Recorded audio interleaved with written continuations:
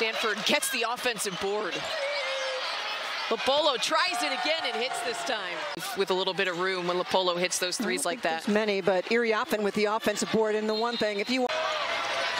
Mary mentioned boxing out key for the Cardinal or key for the Golden Bears to shut down this Cardinal attack as Haley Jones gets the jumper to fall. Because it feels like maybe they're not having their best game, but when you look at Lepolo from Alameda. Three. And a jump from the corner. Jones pulls up. Demetre stays in the game as well for Stanford. Nice battle inside.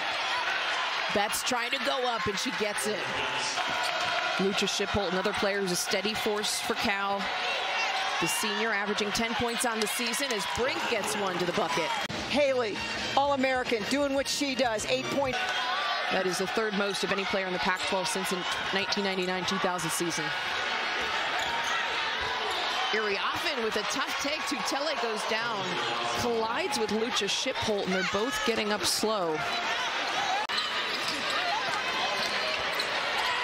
Martine just denied by Iriafen. She has come out with a vet. Fouling.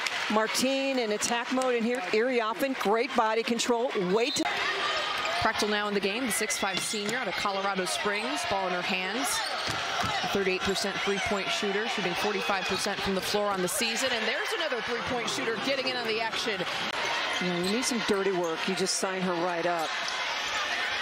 Manopu had time. She'll go inside, and she'll get the finish at the rim. Brink going up strong on Lutje Schipholt. Jones play. comes up with the board and somehow gets it to Hannah Jump, who sinks the triple. Team gets on the floor, kicks it out. Might be the pass of the year from her. That is the fifth tie score we've had in this game. This Cal team just relentless as Brink has the answer. Wanted the foul. Jones goes up, Brink the O-board, Brink the putback. Haley just kind of veers off to the right. You can see the reaction of Brink. She lines it up, basically boxes out Peanut and says, this will be mine in the finish, and you see the intensity. Jones, shot clock at four. Jones drives the baseline, and how did she get that in? Because she's Haley Jones. Hold on. And how impressive is Haley Jones coming up with the answer to give the card that lead. 37 to go here in the fourth quarter. It's Stanford leading Cal by two.